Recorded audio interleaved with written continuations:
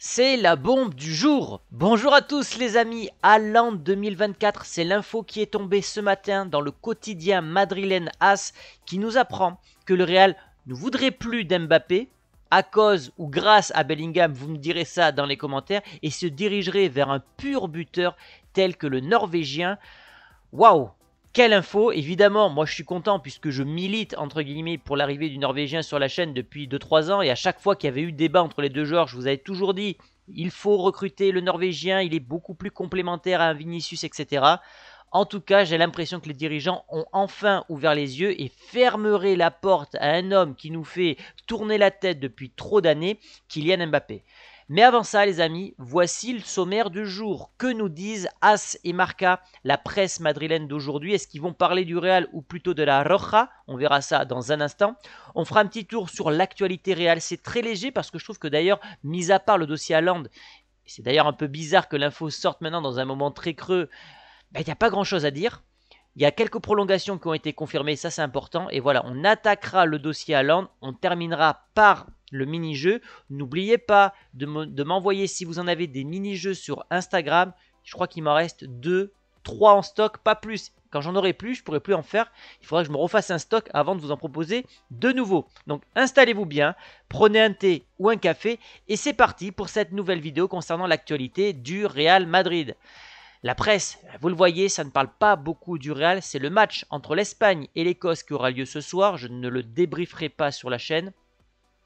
Euh, que ce soit euh, finalement As ou Marca, les deux font un focus sur, euh, la sélection nationale. Je dirais que As met un petit encas en bas sur Xabi Alonso, qui est donc ciblé par le Real, par le Bayern et par Liverpool. Ça me permet pardon, de faire mon auto-promo puisque j'ai travaillé une vidéo complète sur le vestiaire concernant Xabi Alonso. Pourquoi et comment il a rendu Leverkusen invincible Si euh, l'espagnol vous intéresse, allez donc voir cette vidéo sur ma chaîne secondaire.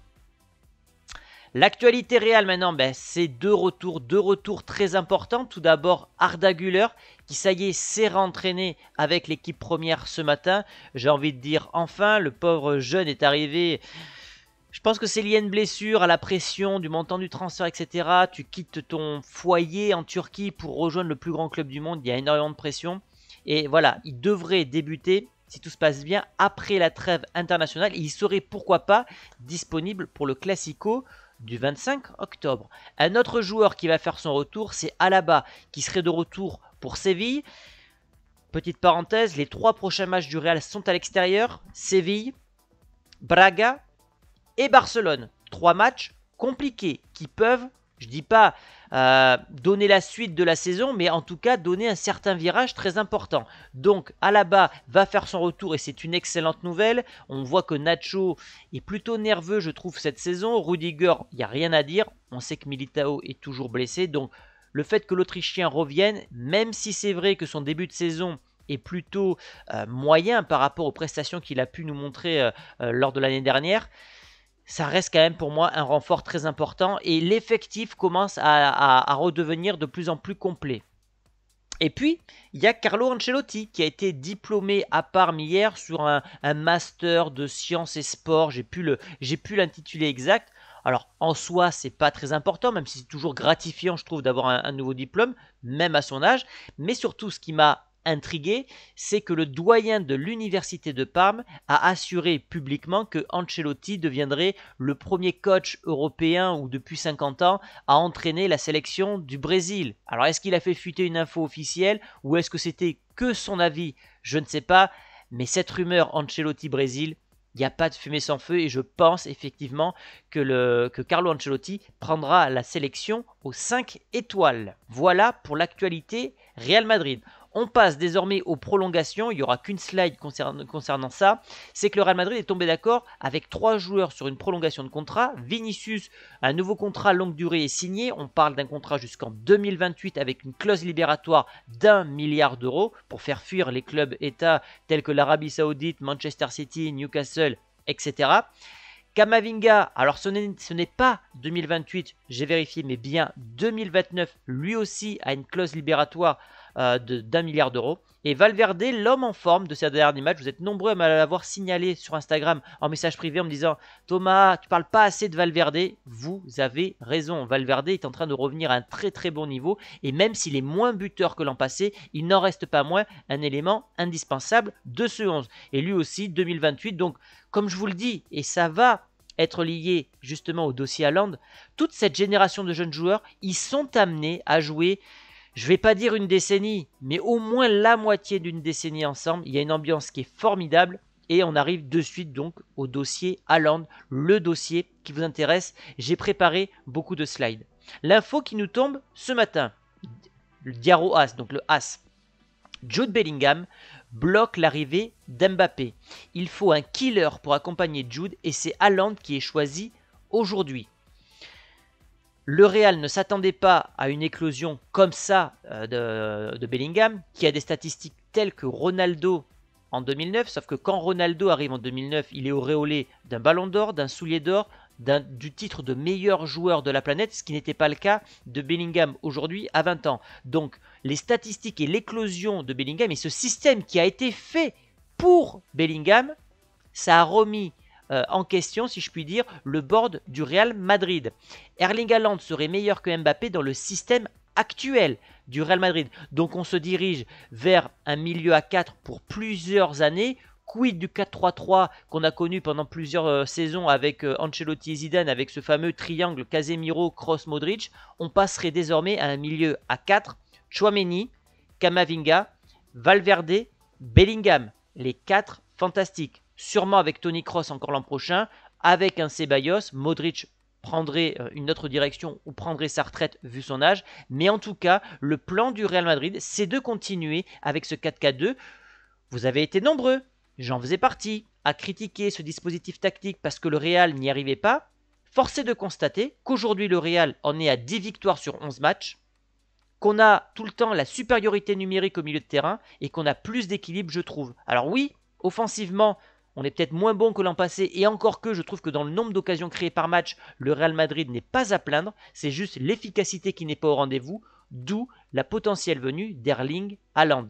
Le club a besoin d'un tueur devant les buts depuis l'arrivée de Jude Bellingham. Et puis, il y, a, évidemment la question Vinicius. Pourquoi aujourd'hui il faudrait faire venir Mbappé, sachant qu'il a quasiment le même profil que Vinicius, c'est-à-dire attaquant gauche, alors qu'aujourd'hui, Vinicius est, on va dire, la méga star du club avec Jude Bellingham, il porte le numéro 7, bref, il y, a, toute une médiatisation qui est faite autour du Brésilien. Ça voudrait dire que si tu passes en 4-3-3 avec Vinicius, Mbappé, Rodrigo, tu jouerais potentiellement avec trois profils totalement identiques des petits gabarits, c'est-à-dire moins d'un mètre 80, rapides, qui aiment la profondeur et qui ont pour poste de prédilection le poste d'ailier gauche. Évidemment, pas de complémentarité ici, mais, et ça je ne vais pas le dévoiler ici, on va parler d'un sujet sur le vestiaire concernant Mbappé, et on se pose la question avec Christophe sur un changement de style de jeu par rapport au Real Madrid. Je vous en dis pas plus. Et puis surtout, Mbappé, Mbappé, est-ce qu'il pourrait s'intégrer dans ce vestiaire qui euh, transpire la bonne humeur? La bonne cohabitation. On voit que Kamavinga est peut-être d'ailleurs le symbole absolu de cette euh, nouvelle génération. Tant il est souriant, tant il s'est bien adapté. Pareil pour Jude Bellingham. Euh, Vinicius, on voit qu'il n'y a aucune jalousie. Et ça, c'est très très important. Aucune jalousie, alors qu'il était la superstar annoncée de cette saison, de voir un Jude Bellingham briller. Regardez-moi cette image. Elle est très symbolique. Un joueur qui n'accepte pas, qui serait jaloux, ne ferait pas la célébration d'un Vinicius. Et je pense que ça, le bord du Real Madrid l'a observé. Et puis Mbappé, c'est ce que je disais en début de vidéo, pardon, c'est un joueur qui fait tourner la tête du board du Real Madrid depuis 3-4 ans. C'est un joueur qui a vu sa cote de popularité chuter à Madrid. D'ailleurs, dans les sondages, c'est pas compliqué. Vous mettez à Haaland, vous mettez contre Mbappé, vous demandez aux socios et aux fans du Real Madrid qui ils veulent voir l'année prochaine. C'est le Norvégien qui le remporte à chaque fois avec deux tiers des voix. Mbappé ne fait plus l'unanimité au sein des socios, comme ça pouvait être le cas il y a quelques années. Donc la hype Mbappé n'est plus présente. Ajoutez à cela des problèmes de schéma tactique. Bref, il y a quand même des indices qui peuvent nous amener à croire que Haaland serait choisi l'an prochain. Et puis Mbappé, c'est quand même un joueur ah, qui aime être le chef, qui aime diriger, qui a trop de pouvoir au Paris Saint-Germain, qui d'après Daniel Riolo, et je mets des guillemets parce que moi je n'ai pas cette info-là, ferait beaucoup la fête du côté euh, du Paris Saint-Germain. Il, a un salaire de 75 millions d'euros avec le club de la capitale française. Il y a trop d'histoires extrasportives avec le français, le, penalty gate, Neymar. Haaland, on n'entend pas parler.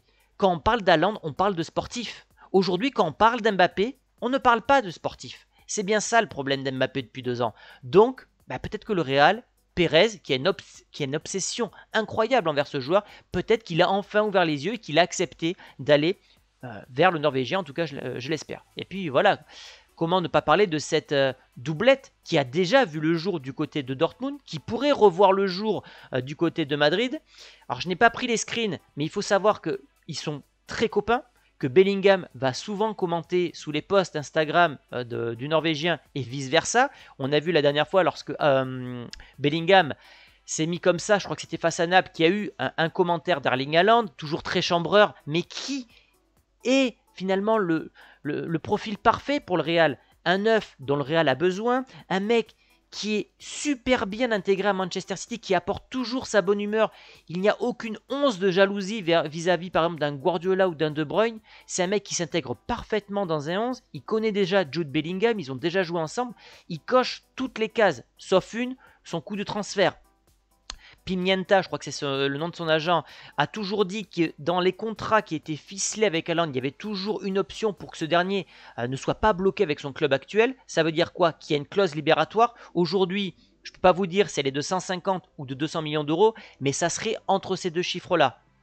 Alors est-ce que Pérez va céder au, comment dire, au contrat facile d'Mbappé dans le sens que bah, tu le fais venir pour, euh, pour 0 euh, euros, mais tu payes une, euh, une, prime à la signature monstrueuse, ou est-ce que tu fais venir Haaland avec une clause libératoire énorme et un salaire moindre? C'est en, fait, ça va être des calculs financiers que va devoir faire le Real Madrid s'ils veulent choisir l'un ou l'autre.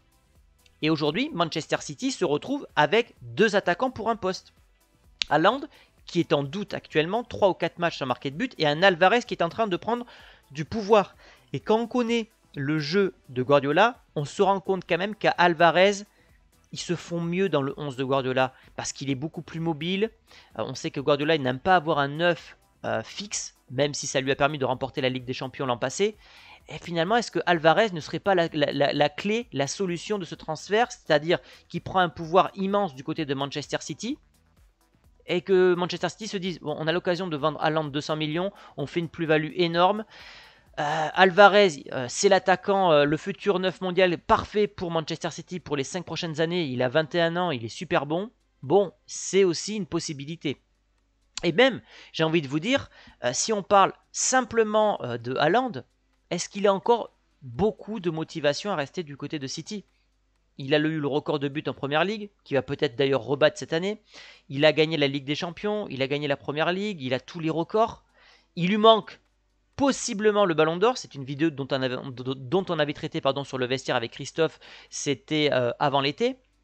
Ballon d'Or qui devrait perdre au profit de Messi. Est-ce qu'il se dit pas mince, je fais la saison de mes rêves, j'ai tout gagné, j'ai battu tous les records, j'ai pas le Ballon d'Or à City parce que c'est pas un club qui pousse comme le Real ou le Barça. En allant à Madrid, j'ai une exposition autre qui me permettrait de gagner des Ballons d'Or. Et puis surtout, Haaland, Mbappé, ça sera pareil, deux joueurs pour un poste, pour une recrue. Donc Haaland va peut-être aussi de son côté prévenir son père, prévenir son agent qu'il veut rejoindre le Real Madrid par rapport à tout ce que je viens de vous dire précédemment. Il a tout remporté avec City, il veut remporter le Ballon d'Or. C'est l'occasion ou jamais de signer au Real parce que si Mbappé venait à signer, c'est terminé pour Haaland, euh, pour, bah, tout simplement pour sa carrière parce qu'ils ont quasiment le même âge les deux joueurs. Donc il y a beaucoup, beaucoup de, choses euh, euh, positives sur le transfert d'Haaland. En tout cas, j'espère que ça va se faire. On peut désormais passer au mini-jeu. Donc, comme je l'ai dit en début de vidéo, si vous voulez m'envoyer des mini-jeux, si vous en avez en stock, n'hésitez pas à me les envoyer. Ça me permet de terminer mes vidéos comme ça, j'aime beaucoup. On me propose trois trios pour le milieu de terrain du Real Madrid. Donc le C, c'est le milieu de terrain actuel, même si c'est pas tout à fait vrai parce qu'il n'y a pas comme Avinga et qu'on joue pas un milieu à 3. Donc Chouameni, Bellingham, Valverde. Euh, le trio B, c'est Casemiro, Modric, d'ailleurs qui fait très jeune sur la photo, et Tony Cross. Et le trio A, vintage, mais pas, mais pas sans qualité, Figo Ballon d'Or, Zidane Ballon d'Or et Claude Makelele.